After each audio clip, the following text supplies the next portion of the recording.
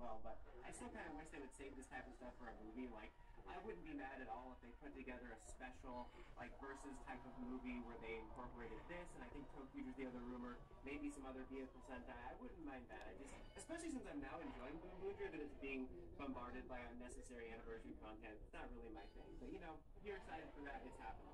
We also got two new Robo formations. The first one being this new one called Robo Monster, which is a very dino-esque looking formation, which kind of reminds me of the Dino Robot from Major